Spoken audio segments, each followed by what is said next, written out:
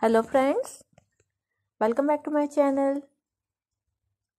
So far the plot of 2020 feels like it's been decided by a large invisible hand spinning a jaws wheel. What fresh hell could possibly come next? Well, maybe a scourge of murder hornets. That sounds about right. These invasive predatory insects recently arrived in the United States. They delight in decapitating bees and their stings feel like hot metal driving into the skin. But the New York Times okay. According to the Times, Asian giant hornets, which is hornet terms, truly are hug.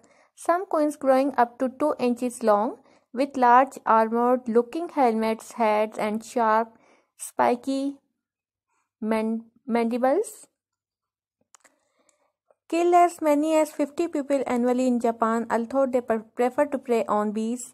According to Vox, murder hornets can rip through about 40 honeybees per minute, tearing off their heads and spiriting away the thoraxes to feed their young.